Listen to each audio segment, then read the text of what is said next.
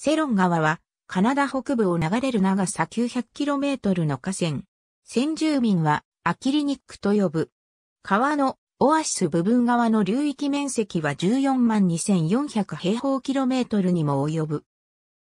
現在でも川とその流域では手付け数の自然が残る。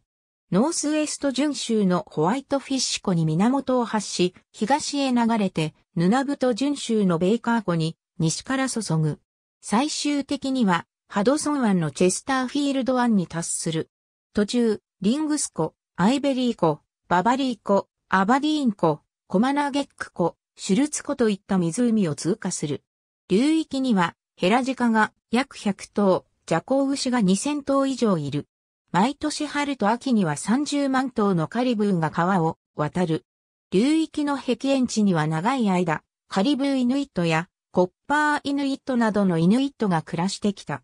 今でも川の近くでは、イヌイットの残した狩りや交易の道具を見ることができる。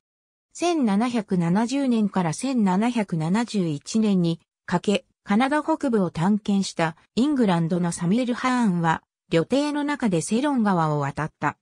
この地を探検していたカナダの博物学者、ジョン・ホーンビーは、1926年から1927年にかけての冬、引率した二人の男と共にセロン川で飢え死にした。彼らは移動するカリブーを捕らえようとしたが、見つけることすらできなかった。しかし、ホーンビーより早い1923年にこの地を探検したジェームズ・クリッチェル・ブロックは探検の基礎を築いた。1927年にテロン禁漁区が設けられ、1956年にテロン野生生物保護区に改められた。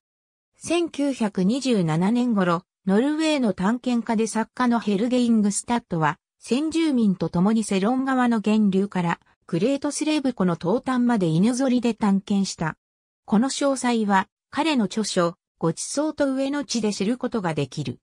1990年、セロン川下流の 545km の範囲がカナダ河川遺産に登録された。川にアクセスする道路はないが、夏には多くのキャンプスキーやカヌー愛好家が訪れる。ありがとうございます。